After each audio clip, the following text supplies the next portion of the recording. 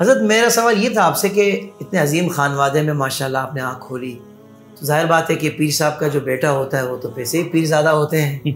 हैं साहबजादा साहब होते हैं। तो ज़रा नाजों के पाले भी होते हैं।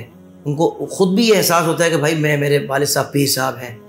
तो क्या वालिद साहब की तरफ़ से या घर वालों की तरफ़ से आपकी तरबियत के मरहले में तालीम के मरहले में कुछ सख्ती भी थी या एक नॉर्मल अंदाज था? ये ज़रा शास्त्र आपके बचपन के हवाले से भी हज़रत हमारे नाजिन जानना चाहते हैं।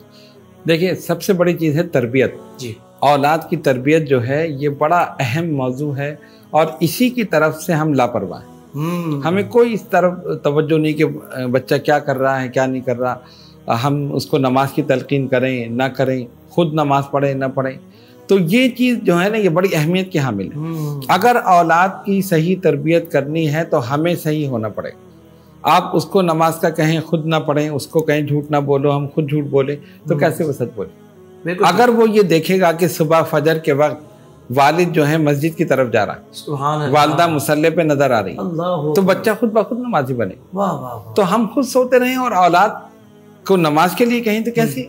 नामुमकिन। हम्म, अब जहाँ तक आपका ये सवाल है तो मेरे वालिद गिरामी हज़रत अशरफुल मशाइख सैयद अहमद अशरफ अशरफी जिलानी नबर अल्लाह। मरकदह रोज़ाना रात में सौ नफिल पढ़ा करते। आप ये देखें पाबंदी के साथ।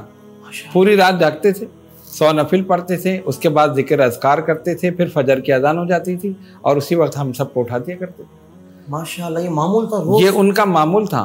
और गर्मी हो सर्दी हो सेहत हो बीमारी हो कैसी कैफियत हो यानी सफ़र हो या हजर हो हम्म, उनके ये सौ नफिल कभी भी हमने छूटते हुए नहीं देखे। उसकी बरकत हज़रत आप लोगों में भी नज़र आती है बस ये उन्हीं की तरबियत और वो है। अच्छा अब क्या पाबंदी थी कि फजर की नमाज़ सब पढ़ेंगे? हम्म। अगर किसी ने फजर की नमाज़ नहीं पढ़ी तो वारिस साहब फरमाते थे आज मैं नाश्ता नहीं करूँ। अच्छा। अब नाश्ता सब साथ नहीं दूँगा वाली बात नहीं थी। दूँगा नहीं मैं नहीं करूँगा। अच्छा और तरबियत क्या थी? अगर कोई और होता तो वो कहते ठीक है अब्बा नहीं करते ना करें हम तो कर ले। हम्म। लेकिन तरबियत भी यही थी ना कि हमें तो उनके साथ करना।